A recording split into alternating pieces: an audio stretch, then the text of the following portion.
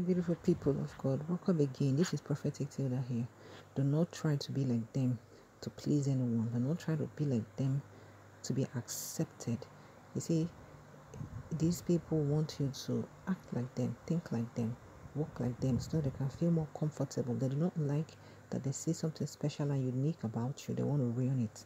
You see how the relationship between Solomon and God was ruined because of the kind of wives that he married. And he didn't just marry them as king, they didn't succumb to his own ways. Instead, he fell for their own ways and he began to worship the idols that those women worshipped and he moved away from the Lord. You see, they want you to be involved in certain relationships that will take you away from God. You need to continue to be prayerful and just seek Him for wisdom on the people you accept into your life, the relationships that you keep.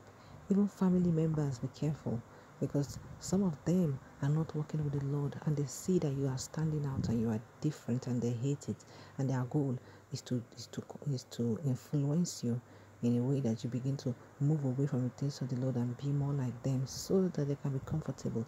The Lord did not call you to serve these idols. The Lord did not call you to please men and displease Him.